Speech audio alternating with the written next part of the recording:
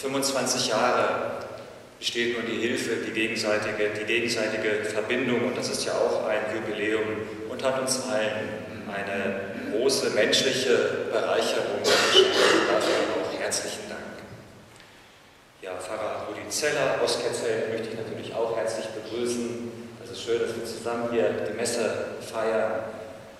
Ja, in dieser Messfeier danken wir Gott, wie das schon der Chor der Frauengemeinschaft jetzt auch gesungen hat für alles, was er durch ihr Zutun, durch ihr Mitmachen gelingen ließ. Wir danken Gott, dass er uns seinen Beistand geschenkt hat.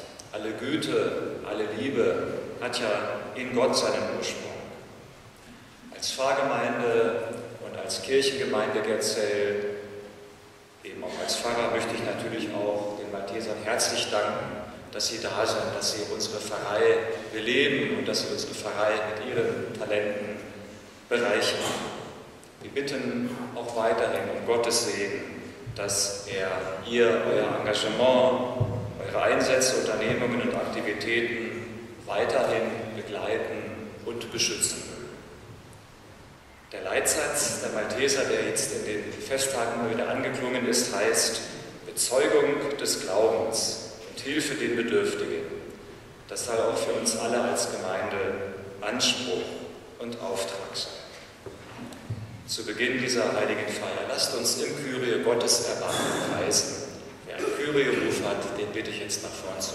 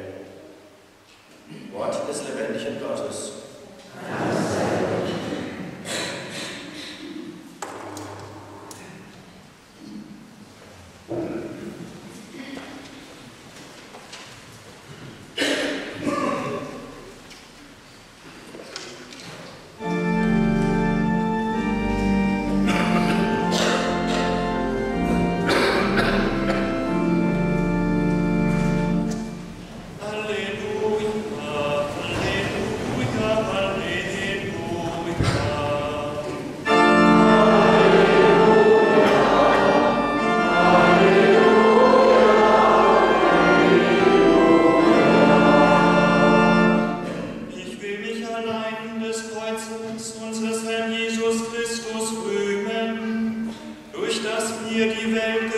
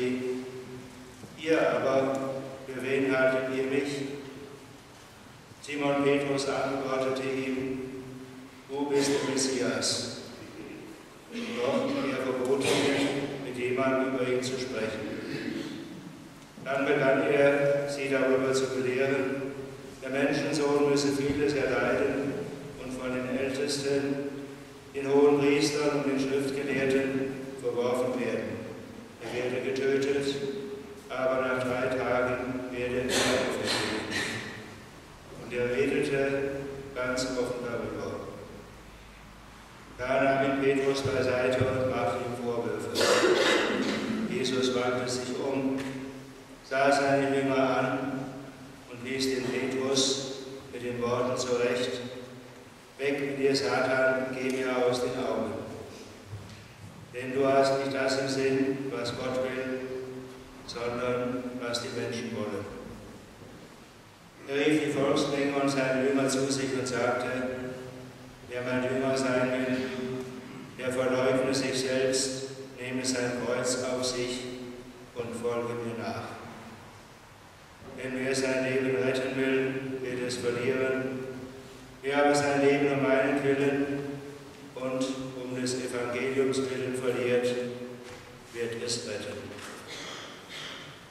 Evangelium unseres Herrn Jesus Christus. Lob sei Jesus.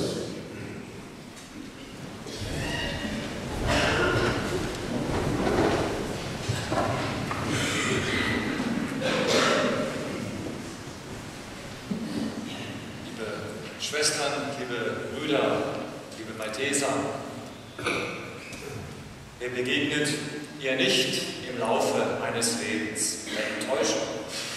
Hat sich jemand mit einer Lehre oder mit einem Studium auf einen Beruf vorbereitet und kann ihn dann nicht ausüben, weil gerade in dem Bereich kein Arbeitsplatz frei ist? Oder da träumen zwei von glücklichem Zusammenleben in der Ehe.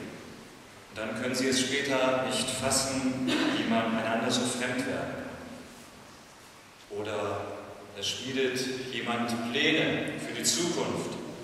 Eine Krankheit, ein Unfall macht alles zunichte. Solche und ähnliche Erfahrungen, liebe Schwestern, liebe Brüder, verändern das Leben tiefgreifend, ja, können den Menschen bis ins Mark erschüttern, ja, ihn sogar aus der Bahn werfen. Und dann gibt es ja noch die vielen kleinen, alltäglichen Enttäuschungen. Der abgesagte Besuch oder die misslungene Klassenarbeit, wer in einem Verband arbeitet, wie bei den Maltesern, der kann sicher davon auch ein Lied singen. All die kleinen, größeren Erwartungen, die sich nicht erfüllen, die durchkreuzten Pläne. Enttäuschungen, liebe Schwestern, liebe Brüder, geben unserem Tag eine ganz andere Richtung. Ja, sie können vielleicht sogar unser Leben verändern. Wie schwer fällt es Petrus und den Jüngern im Evangelium, mit der Enttäuschung fertig zu werden, die Jesus ihnen bereitet. Nichts lässt er übrig von ihren hochfliegenden Erwartungen, von ihren großartigen Plänen, mit ihm in seinem Königreich zu herrschen. Alles macht er zunichte. Kein Wunder, dass Petrus, dass die Jünger das nicht wahrhaben wollen, dass sie sich buchstäblich auch bis zum letzten Augenblick am Ölberg vor seiner Kreuzigung gegen diese bittere Wahrheit sträuben. Liebe Schwestern, liebe Brüder, wenn uns jemand enttäuscht, wenn unsere Pläne durchkreuzt werden, wenn manche Erwartung unerfüllt geblieben ist, unser Leben eine ganz andere Richtung nahm, als wir wollten, ja dann begehen wir natürlich dagegen auf. Wer wird das uns verdenken? Doch anstatt in der Trauer, anstatt in der Mutlosigkeit, oder vielleicht sogar im Groll oder im Hass stehen zu bleiben, lädt uns Christus ein, mit ihm unseren Lebensweg weiterzugehen. Mit ihm und seiner Liebe begleitet werden wir allmählich neue, ungewohnte Schritte wagen, werden wir langsam neuen Anfang erkennen, was wir bislang nur als eine, als eine Art bitteres Ende sahen. Durch Christus ermutigt, der selbst die bitterste Enttäuschung durchlitten hat, werden wir dann neue Aufgaben, neue Beziehungen entdecken, die wir vorher so nicht wahrnehmen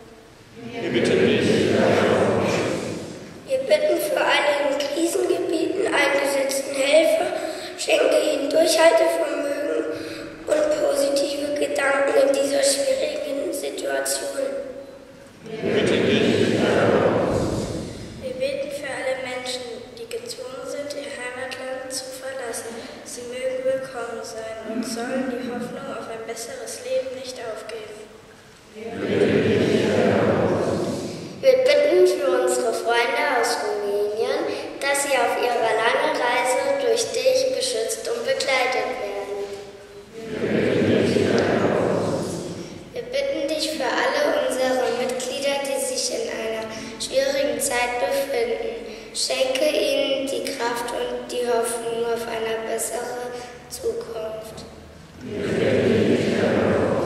Wir bitten dich für alle unsere verstorbenen Mitglieder,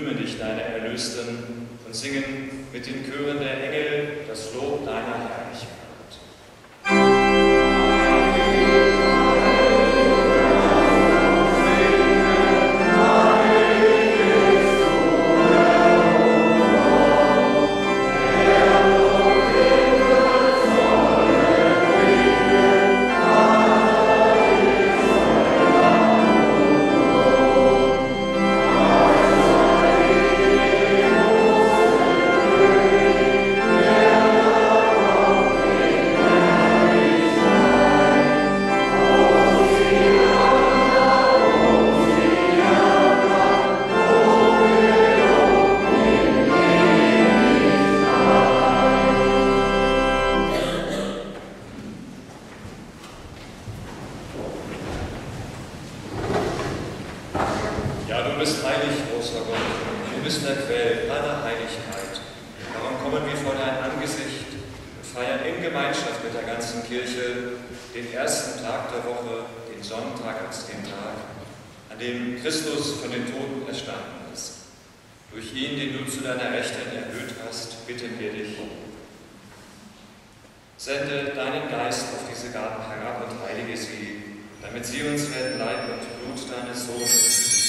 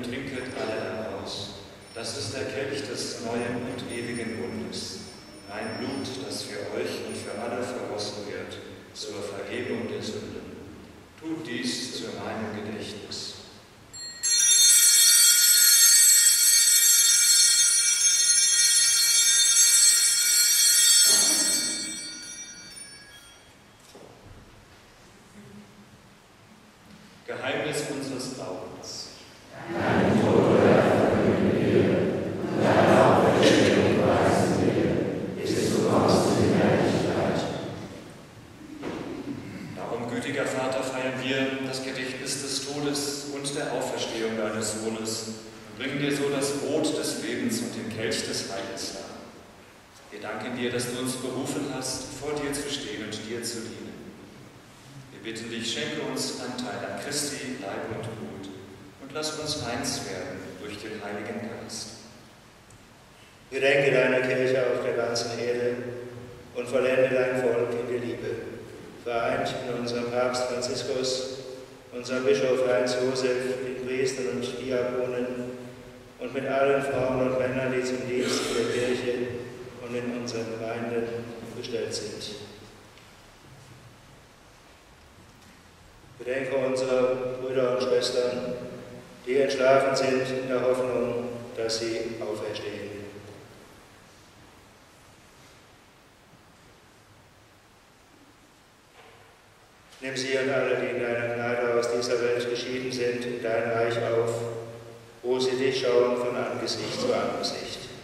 Vater, erbarme dich über uns alle, damit uns das ewige Leben zuteil wird, in der Gemeinschaft mit der Jungfrau und Gottesmutter Maria, mit dem heiligen Josef, mit deinen Aposteln, mit dem heiligen Bonifatius, mit der heiligen Elisabeth und mit allen, die bei dir Gnade gefunden haben, von Anbeginn der Welt.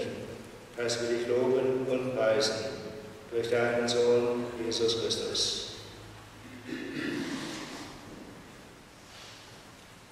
Durch ihn und mit ihm und in ihm ist dir, Gott, allmächtiger Vater, in der Einheit des Heiligen Geistes, alle Herrlichkeit und Ehre, jetzt und in Ewigkeit. Amen.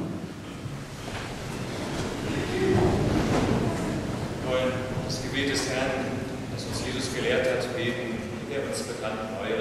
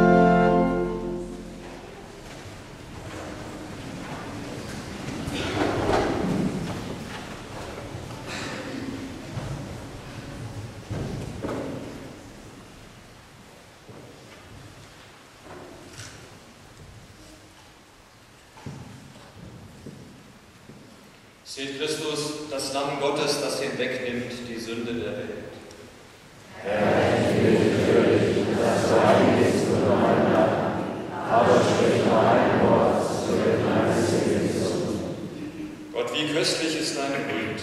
Die Menschen bergen sich im Schatten deiner Flügel.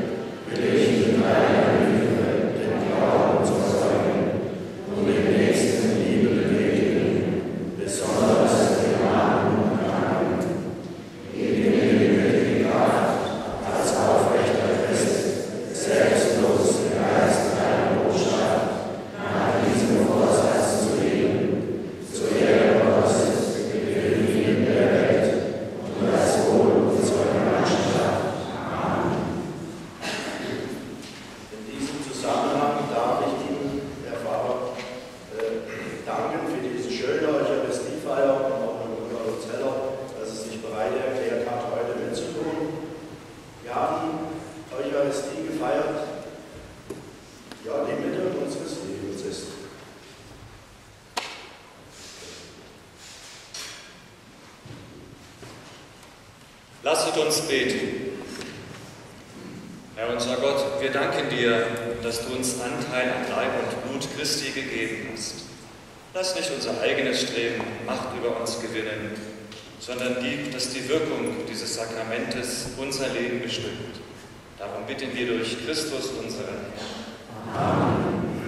Ich möchte am Ende des Gottesdienstes zwei Kerzen segnen für die Malteser.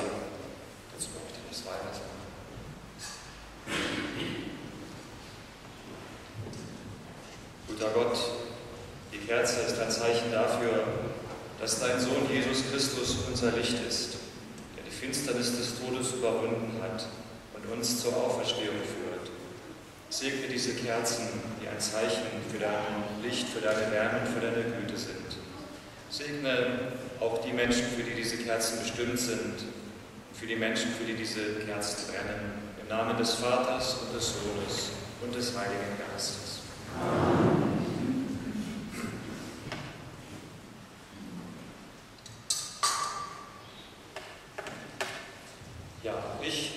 herzlich den Maltesern nochmal am Schluss danken und dann auch alle einladen zu dem Fest, das die Malteser jetzt feiern. Am Bürgerhaus ist das jetzt, oder? Ja, oben beim Vereinshaus, ne? genau, in der alten Schule.